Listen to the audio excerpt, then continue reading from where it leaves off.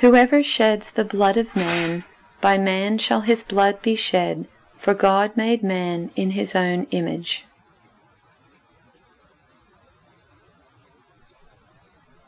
Whoever sheds the blood of a human, by a human shall that person's blood be shed: for in his own image God made humankind.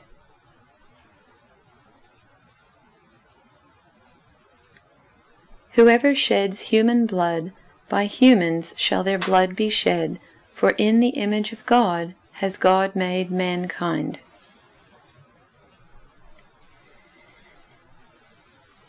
If anyone takes a human life, that person's life will also be taken by human hands: for God made human beings in his own image.